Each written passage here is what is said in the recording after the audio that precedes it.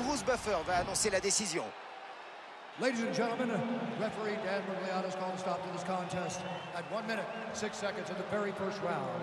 Declaring the winner by!